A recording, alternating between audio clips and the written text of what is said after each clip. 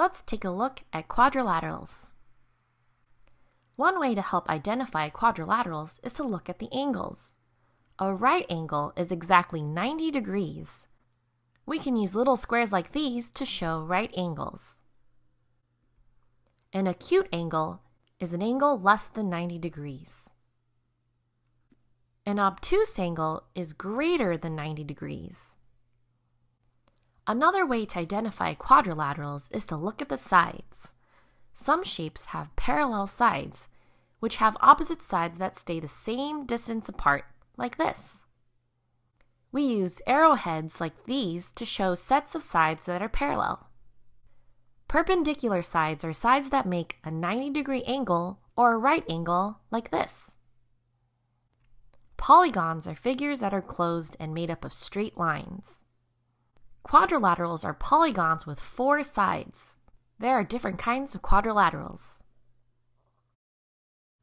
This is a rectangle. It has two pairs of opposite congruent sides, or two sets of sides that have the same length.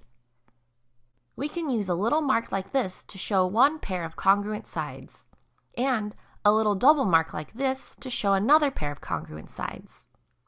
All pairs of adjacent sides are perpendicular meaning all four angles are right angles. This is a rhombus. It has four congruent sides with opposite sides that are parallel.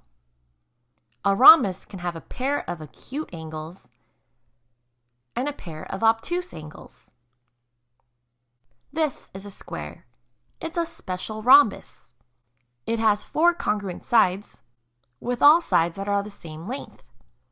All pairs of sides are perpendicular, meaning all four angles are right angles.